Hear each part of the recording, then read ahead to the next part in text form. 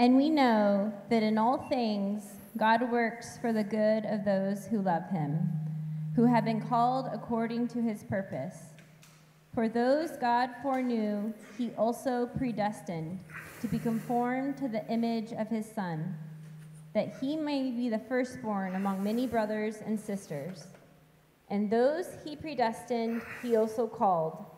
Those he called, he also justified. Those he justified, he also glorified. What then shall we say in response to these things? If God is for us, who can be against us? He who did not spare his own son, but gave him for us all, how will he not also, along with him, graciously give us all things? Who will bring any charge against those who God has chosen? It is God who justifies. Who then is the one who condemns? No one. Christ Jesus, who died, more than that, who was raised to life, is at the right hand of God and is also interceding for us. Who shall separate us from the love of Christ? Shall trouble, or hardship, or persecution, or famine, or nakedness, or danger, or sword?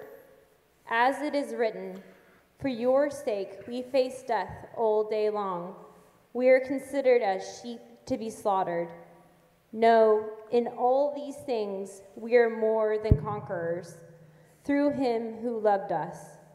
For I am convinced that neither death nor life, neither angels nor demons, neither the present nor the future, nor any powers, neither height nor depth, nor anything else in all creation will be able to separate us from the love of God that is in Christ Jesus, our Lord.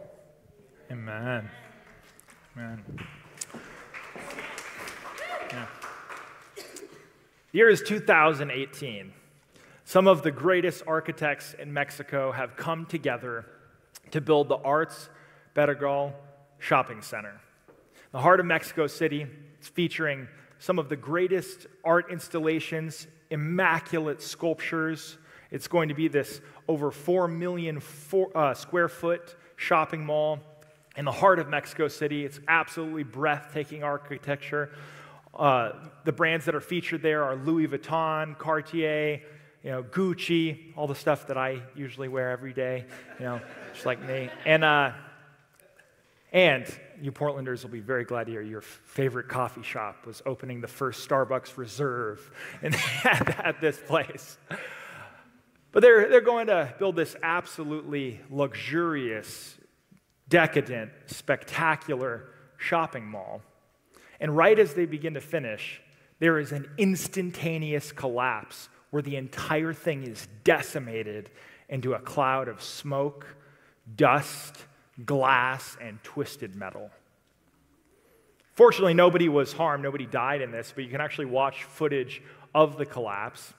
And what it was was that certain developers in Mexico City had chosen to uh, want to make a quick return on this and had built it upon an unreliable foundation and had actually used subpar building materials. And even though they had the greatest artists, the greatest designs, the greatest ambitions, the greatest uh, uh, you know, hopes for it that it would turn a, an enormous profit, because they used a poor foundation, because they used these subpar building materials, it all went up in a puff of smoke in an instant. Well, like that mall in Mexico, what I want to say to you in this, in this series, Identity Crisis, is, is essentially this that we're all building our lives upon something. We're, we're building our lives uh, our identity, who we are, what we believe is valuable, what we believe is important, what we believe makes life worth living. We're building it upon something. And what I've been proposing to you last week and then this week and then also be talking about next week is that if you build your life upon anything other than God, it will inevitably make you into a fragile person. It will make you into a person who is deeply vulnerable to circumstance, deeply vulnerable to, to, uh, to suffering, to difficulty, to adversity. if you, if you build your life on anything other than God, all suffering can do to you is thwart your meaning. All it can do is sabotage your purpose. You see, suffering is going to happen. I regret to, I'm, I'm really sorry to tell you, but like life's going to get hard. Stuff is going to happen. Things aren't going to go your way. And you can try to avoid suffering like we do, and we should. You know, I'm not saying we should seek out suffering or anything, but, but, but suffering is going to come your way. Difficulty is going to come your way.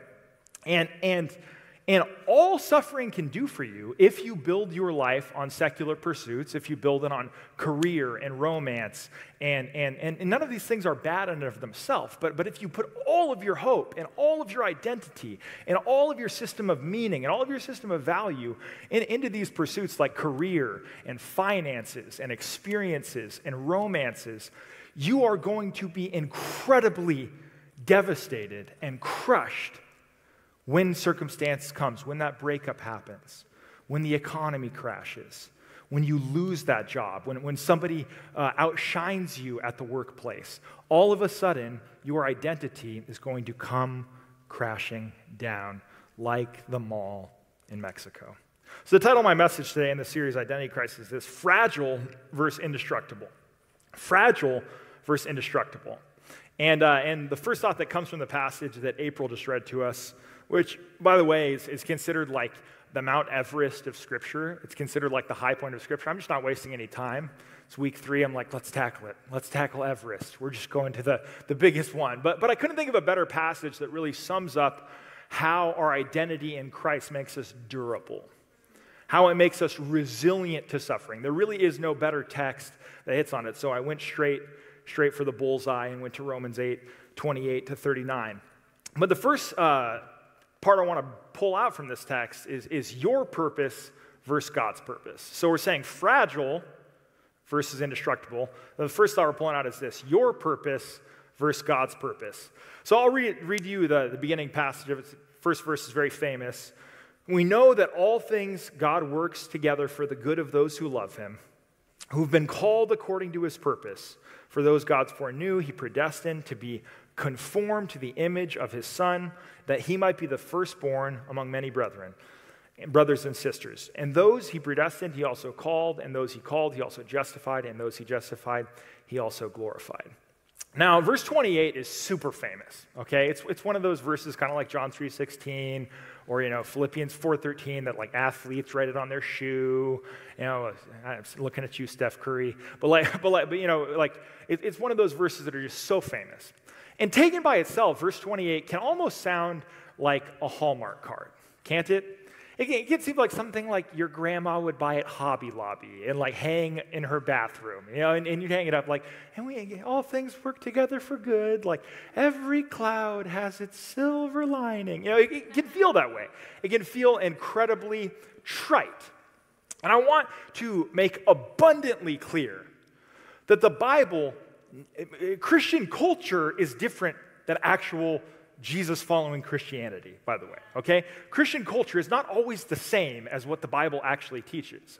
So let me just tell you that, that, that, that the Bible has a huge teaching about empathy and about lament and about how it's okay sometimes to just scream at God and, and, for, and for your to weep. And that, I mean, Paul weeps. Jesus weeps, Jeremiah weeps, the psalmist weeps. It's okay to weep. Uh, like, I'm, I'm not saying what we should do is just downplay our hurt and, and smile, smile, smile. You know, just smile on by.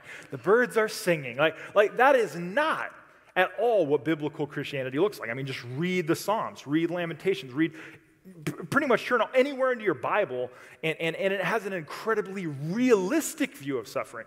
As a matter of fact, the, the scripture was written by oppressed people.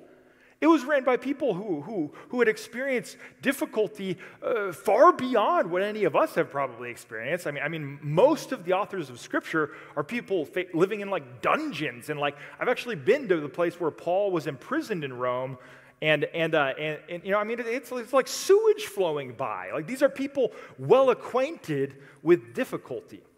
But what it's saying is this is that there is a purpose big enough to handle the reality of suffering.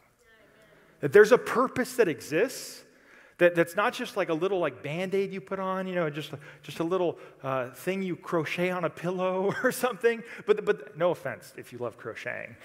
but, but, like, but, but like, but that, there, that there's a purpose that is rich, that is deep enough, that can handle real pain, real hardship, real suffering. And I think it's, we really do ourselves a disservice when we only read verse 28 by itself. Because because what comes after Romans 28 28 is 29. And, and 28 talks about how God has this good, that He's working all things together for good, and that He has a purpose. And we stop there, we're like, ah, He's got a good, and He's got a purpose. It's like, well, what the heck is the good? like, what is the purpose? What's the point that He's working to? And that's what 29 tells us. It says that He's working everything that we would be conformed to the image of the Son. In other words, that we would become more like Jesus. And if you know your Bible at all, I mean, probably is familiar, even, even to most people who didn't grow up around the Bible probably heard it. But, but the Bible starts with saying that God made human beings in his image. In other words, we were made to be reflections of him. Uh, the, the picture of Christian theology is this that, that God is this being of infinite love infinite holiness, this, this perfect being, and that we are meant to be reflections of his love. That we're meant to reflect his love to one another. But what does the Bible say? It says that we shattered the image. That we shattered, we shattered that image. We don't reflect his love, but we don't reflect his holiness. We don't reflect his goodness. But that his purpose in everything is to kind of gather up the glass pieces, put everything back into place so that we do reflect the image of Jesus, the image of the Son. That is God's purpose. God's purpose for you, you may have a purpose. You may have, like, this is my goal in life. You know, my goal is to make this many figures or, or to, like, buy a house in, in uh, Irvington. you know, like, good luck, dream on. But, but, like, but, but, but you, you may have this purpose for yourself but God's purpose is this that you would be courageous as Jesus, that you'd be as loving as Jesus, that you'd be as humble as Jesus, as gentle as Jesus, as bold as Jesus, as holy as Jesus. That is God's purpose for your life. And God says that He, I mean, this is astronomical, it's, it's staggering, but the idea is that God, in, in, in His infinite power and wisdom, is orchestrating everything so that many brothers and sisters would be in the image of Christ. That everything he's doing is being orchestrated and superintended to move you towards that purpose. I love this quote by George MacDonald. George MacDonald says this The Son of God suffered not so that you would not suffer, but that when we suffer, we would be like him.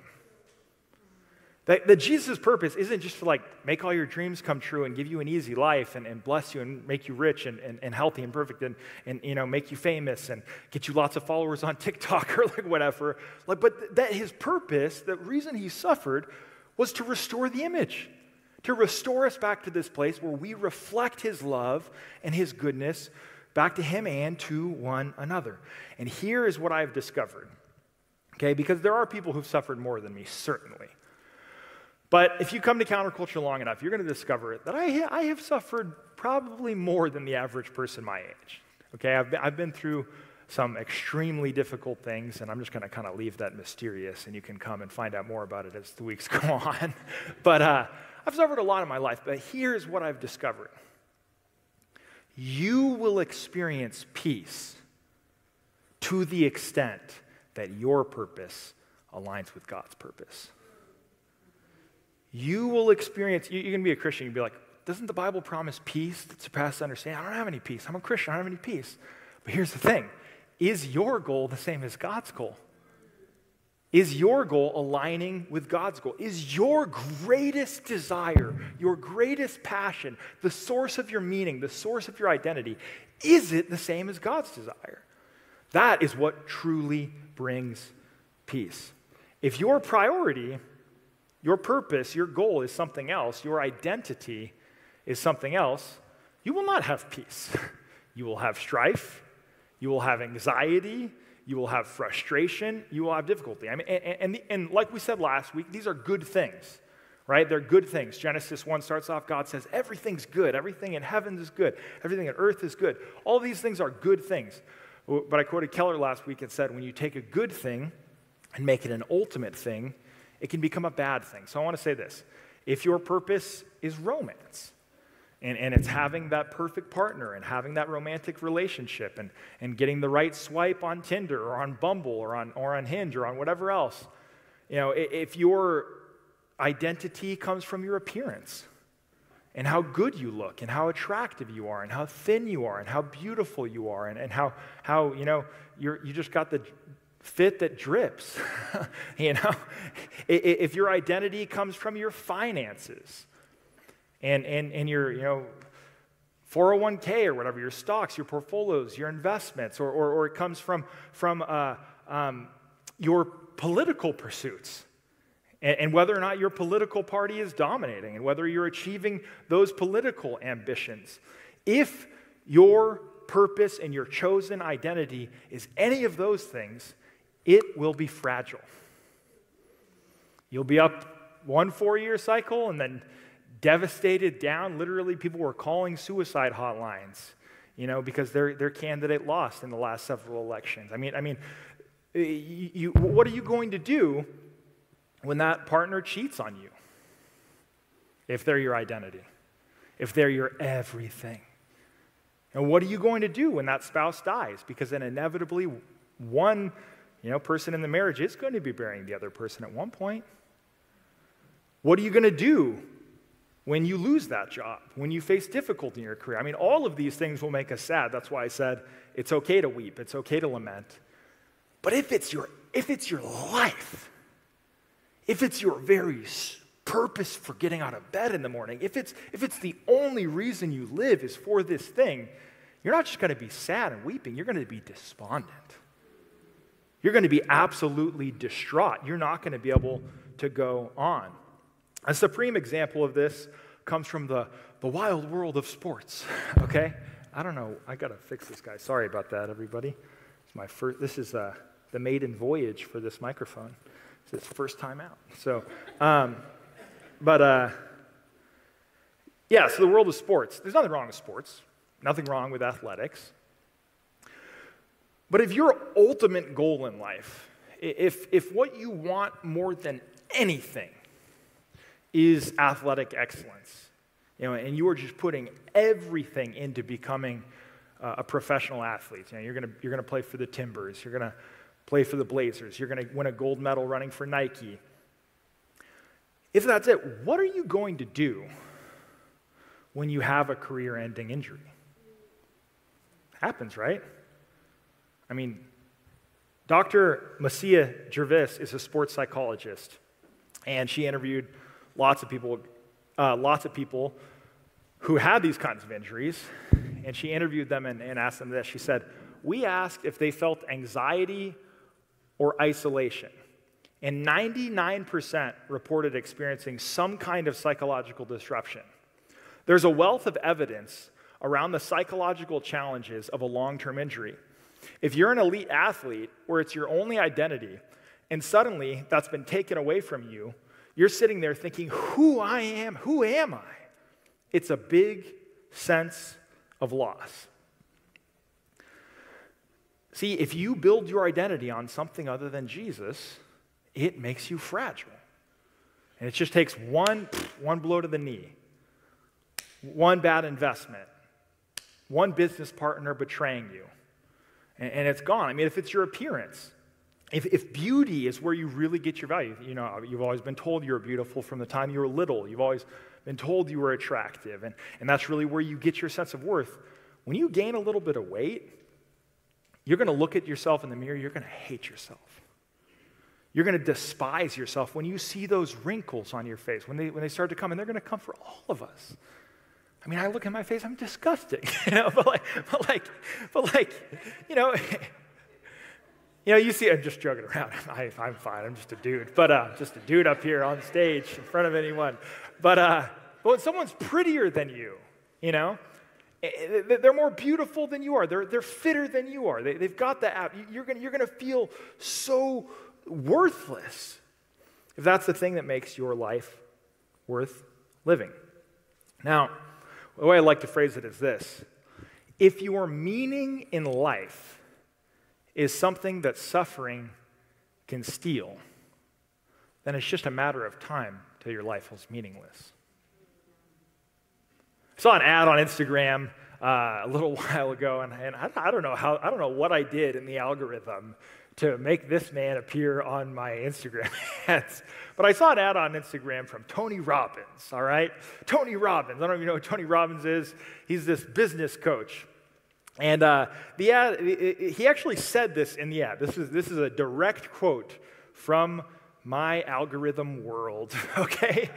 But Tony Robbins says this business is an extension of your own identity. If business is going great, you feel great about yourself. If it's not, not so great. And uh, you know, Tony Robbins is interesting. I actually, I could not resist telling you about this. I, I, was doing a little research about him. And you know, he actually made a bunch of people walk across burning hot coals at an event in Dallas. And uh, you know, like 12 people had to be hospitalized after walking across it. He's like, he's like, I know your self-esteem's down because your business isn't going good. But come to me, I'll make you walk across hot coals, and your feet will burn so bad you won't even think about your self esteem. But, but, uh, but he, he uh, I'm not here to dunk on Tony Robbins. I mean, I couldn't. He's a huge man with a gravelly voice. like, I couldn't dunk on him if I tried. I'm terrified of him. But, but I think he really gets at something. I think he really gets at something in this quote, and that's that, that's that for many of us, we make our business our identity. We make our career our identity, our world. And he goes, Your business is doing well? You're doing great. Your business not so well? See, do you realize how, how, the, how much of a house of cards that is? Do you realize how many things are outside of your control and outside of your power? And that if you give your career that much of yourself, like h- how much of a roller coaster, you're going to be an emotional yo yo. You want to live your life like that? Like an, like an emotional yo yo? It, it, it, it, it, is, it will be unbearable.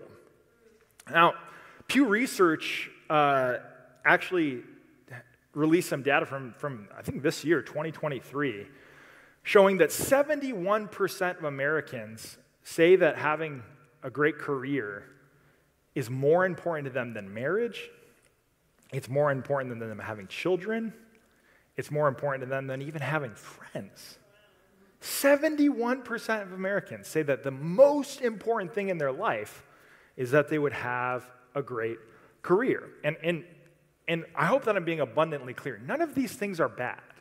Like, it's fine to want a good career, that's okay. But I'm just saying, if it's your world, if it's the thing that you place above everything, I mean, you are just setting yourself up for a world of hurt. You know, my family and I, we have this really weird habit, even with our small, tiny children, from the time like my son was like four years old, he loved to watch Shark Tank. like, I don't know what kind of kid he is. I remember when he was four, he's sitting on the couch. I was like, he's like, let's watch Shark Tank, Dad. I'm like, okay. I mean, we showed it to him, but but uh, but he loved it. And I was like, do you even know what Shark Tank's about? And he looks up at me and goes, money. like, you're not wrong. You're not wrong. We were watching Shark Tank a while ago. You know, there with my four-year-old daughter. She loves it. She just wants to be just like, uh, you know, Robert Herbert Herjavec. It's her idol. Just kidding. but uh, um, we're watching Shark Tank, and there's this woman, and I, and I have compassion for this woman. I'm not here to like mock her and make fun of her, but she had put her whole life into making this like cereal company called Honey Bunchies. And, you know, she was like laying out honey bunchies to them. And, uh, and sadly, she didn't get a single deal. Like everyone, everyone turned down investing in honey bunchies. But it was really, really sad. It's hard to watch. Where as all the deals were evaporating in front of her, she was going, This is everything. This is everything. Honey bunchies is everything. And, and, and the tears just started gushing down her face. And, and and we're all prone to that, right? I mean, I can make counterculture church everything. I can make this my everything. And then, you know, when I when I when I and I, and I can be an emotional wreck about the turnout or about this or about that or about whatever. But I'm just saying, if you do that, you're going to end up like Kendall Roy, okay? You're going to end up like stabbing your brother's eyes out, going like, "I am the eldest boy." like, like, I don't, I don't know if you saw the finale of the show. It's, it's got a lot of profanities in it, but, uh, but, but you know, at the, at the end of Succession, Kendall Roy goes, "If I don't get this, I'm going to die.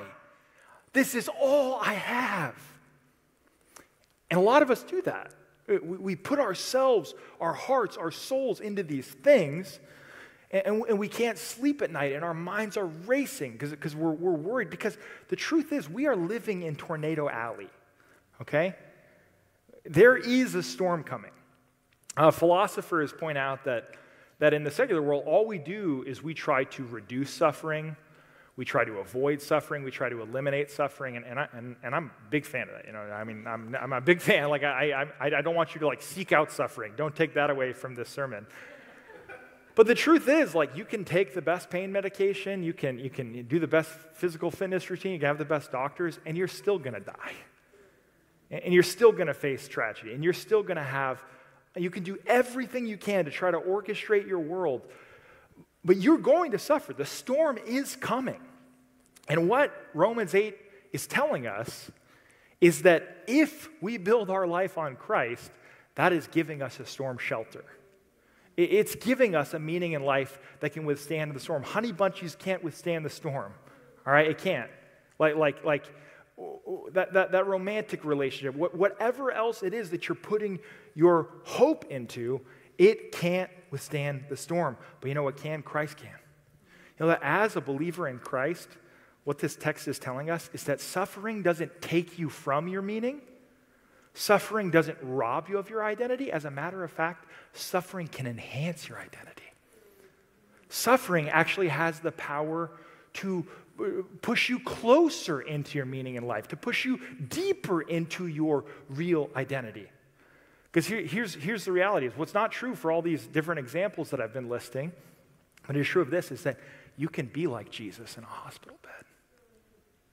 You can be like Jesus when you lose your job. You can be like Jesus when you're going through an economic hardship. You can be like Jesus when your spouse betrays you. You can be like Jesus when, you, when your best friends walk out on you. Actually, those can be the opportunities where you look the most like Jesus. You see, if you make Jesus your identity, you gain a purpose in life that is durable. You gain a purpose in life that is indestructible, can drive you deeper into God and into his purposes. All right, so we're saying fragile versus indestructible. And we're saying your purpose versus God's purpose.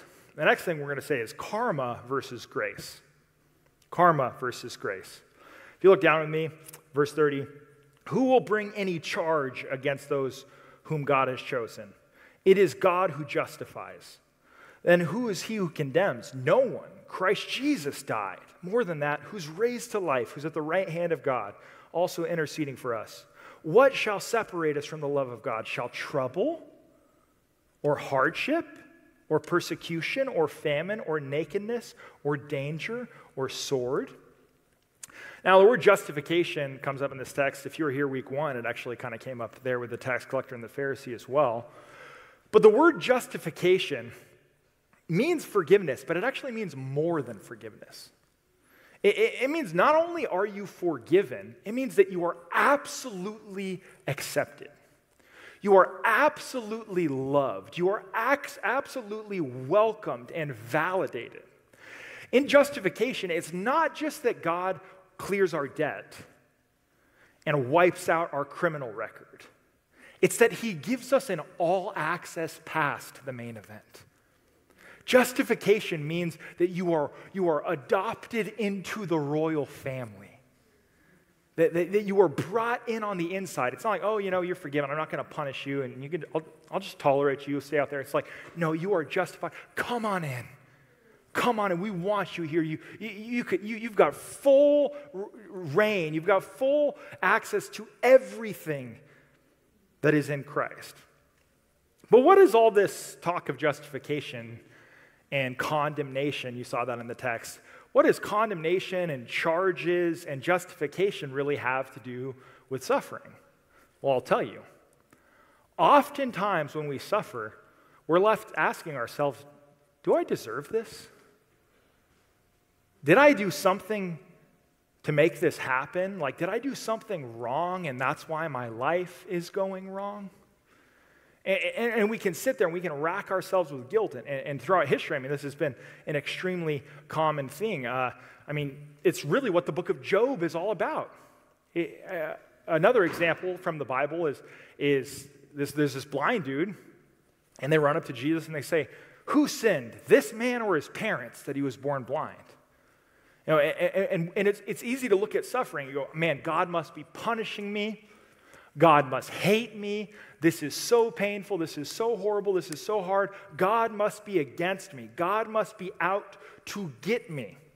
Uh, you know, in Rome, he's writing to Christians living in the city of Rome, and we know they are going to be persecuted. They are going to be killed, that uh, some of them in, in, in absolutely you know, a brutal fashion. And the Romans looked at them, these people who believed in fate, and they believed that everything was fated, and, and they think the gods must hate them. Look, they're being eaten by lions. They're being crucified. They're having their skin ripped off of them. You know, the God, look, God doesn't love, the gods don't love them. You know, and, and Paul is saying the exact opposite here. It's really fascinating. Down towards the end of the text, he quotes from the Psalms. And uh, he says, right immediately after what I just read, he says, For your sakes we are killed all day long. We're accounted like sheep to the slaughter. Now, I've read Romans 8 dozens of times, and I've noticed that little verse there, and I always kind of felt weird, out of place to me, whatever. And we just skip over that verse from the Psalms. But uh, Tim Mackie, a friend of mine, he, he, he points out that those verses are like hyperlinks. You know, when you're on a website and you can like click on a hyperlink and it goes to a different web page? When the Bible does this, it's like hyperlinking back to the Psalms. And so this week I read Psalm 44 where it comes from. I'll put it on the screen for you. He says this Our hearts had not turned back, our feet had not strayed from your path, but you crushed us and made us a haunt for jackals. You covered over us with deep darkness. If we had forgotten the name of our God or spread our hands to a, foreign idol, would not God have discovered it since he knows the secrets of the heart? Yet for your sake, we face death all day long. We are considered as sheep to be slaughtered. So he's saying, we had done nothing wrong. We had followed God. We'd followed the covenant. We'd done everything right. And yet our, our life is still a mess. And, what, you know, so many traditional cultures have said throughout time, and, and what even our own just human tendency is. I think you, you, you could be an atheist here, and when you suffer, you're still going to wonder these thoughts. You're going to wonder, like, man, life isn't going right. Maybe it's because I did something wrong. Like, maybe I did something to deserve it. But the Bible, Romans 8, Psalm 44, the book of Job, the, the story of Joseph, the story of Jesus, the story of Jeremiah, I mean, it all is saying just absolutely definitively and, and, and, defiantly that no, sometimes you suffer and you don't deserve it. Sometimes suffering is completely unjust. Sometimes you suffer and you did nothing to cause it. Sometimes you did everything right and life still goes wrong. And this is really, really, really important. We may not realize how important it is because people who are suffering don't always deserve it. People who are suffering deserve love. People who are suffering deserve compassion. And this becomes really significant when we look at people who are in poverty. Because if your assumption is your life is going wrong because you did something wrong, then, then what do we look at people who are on the streets. We think they deserve it. They deserve to be there. They did something wrong to be there. And, and, that, and that's something that is very human, but it's something that the Bible categorically denies. It says that no, that you can suffer and it's not your fault. It's what the entire book of Job is about. I read a, a great book by an Indian philosopher last year named Vishal Mangalwadi. And uh, these are his words, but Vishal Mangalwadi says this Karma became a philosophical factor preventing a culture of care. A person's suffering was believed to be a result of his or her own karma. By the way, the word karma, it's Sanskrit, it means deeds, it means works. We, we talk a lot about salvation by grace, not by works. The word karma means works. In a previous life, in other words, suffering was cosmic justice. To interfere with cosmic justice is like breaking into a jail and setting a prisoner free. If you cut short someone's suffering, in other words, you help someone who's suffering, you actually add to their suffering because they, they, they got to come back and meet their quota. You don't help a person when you interfere with the cosmic law of justice. Many Hindus cannot believe that God cares for the poor. Now, in India, they have the caste system. I don't know if you've heard about the caste system, but it's this stratified system where it's, it, eh, there are the, the Dalits, and there's millions upon millions of Dalits in India, and it, it's illegal to help them. They're living in the slums because they deserve it. They were born into poverty and squalor because they did something bad in a previous life. That is why they're suffering. But the Bible, it rejects that. It says, no. The world is broken. The world is fallen. The world is unjust. And sometimes, oftentimes even, people suffer even though they did nothing wrong. Now, the radical claim of Christianity is that God loves the poor.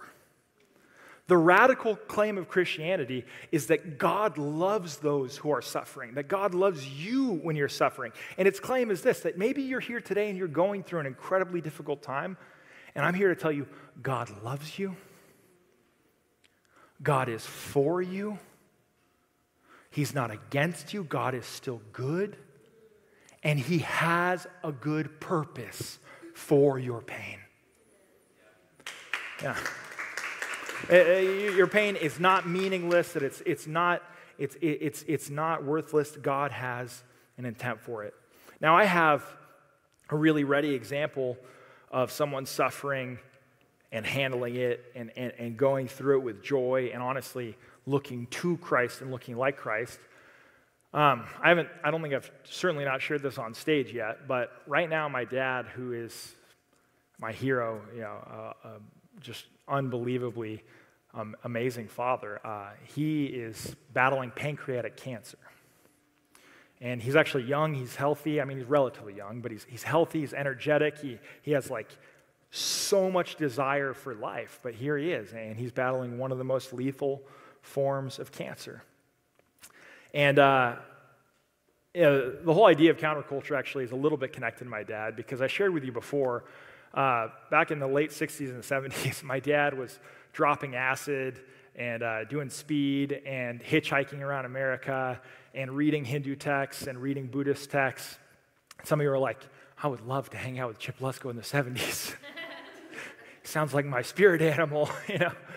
but, uh, but yeah, he was there and he, and he felt actually really lost doing that. And, and he wandered into a church, later wandered into a Christian commune, became a follower of Jesus and, and has followed Jesus beautifully and selflessly, selflessly for, for 40 something years. But my dad suffered a lot. You know, sometimes people, you know, he could so easily, you know, be the kind of person who's like, man, everything just went wrong and I just went and drank my pain away or, or I, you know, pushed my pain away with a needle because my dad, his biological father, wanted basically nothing to do with him. Uh, shortly after he became a Christian, at like the age of like 29, his mom, who he adored, died of brain cancer.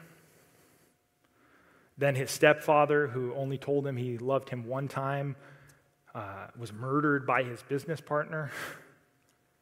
And, and, and, I could just say so many other times I've just seen so much suffering in my life. But you know what my dad's favorite verse is? That he has lived out relentlessly, fiercely is Romans 8 28. It, it, it's, it's the verse that I've seen him cling to you know, so many times in my life. And when I look at somebody who's not fragile, when I look at somebody who's not bitter, he's not like jaded or cynical, but he's just full of joy and full of life and, and just this kindness and this generosity. I mean, this is what my dad, he was going in for an eight hour surgery where they were going to cut out parts of his intestine, cut out parts of his stomach, cut out parts of his pancreas, this eight hour Whipple surgery. And this is what he posted on, on, online. He said, like the night before a big game, excitement, not anxiety, no complaints. My faith needs to work at times like this, and it is. Though he slay me, I will trust him. Let's do this. and every time I talk to him, like, like that, that's, that's, that's the attitude that he has. So karma versus grace. The last thing is this instant versus ultimate. We'll wrap this thing up. Instant versus ultimate. No, in all these things we are more than conquerors through him who loved us. For I am convinced that neither life, nor angels, nor demons, nor, nor the present, nor the future, nor any powers, nothing height, nor depth, nor anything else in all creation will be able to separate us from the love of God that is in Christ Jesus our Lord. It's kind of cool that word more than conquerors in Greek, it's hyper conquerors. That we're hyper, we're super conquerors. It's, it's more than, than conquest. But I think it's really important to realize what it says up in verse 23. I think we got it on the screen for you. Verse 23, it says, it says that if we hope for what we do not have, we wait for it patiently. You know, the word secular actually in Latin means now.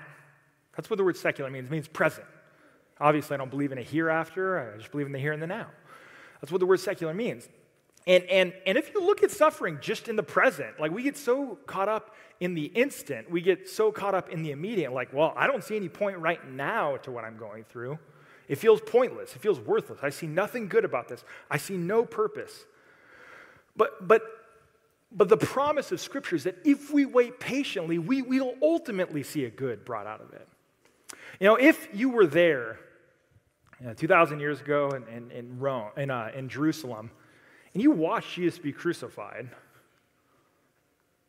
you see him completely naked, hyperventilating, like suffocating to death, bleeding, you would probably go, maybe he's not the Messiah.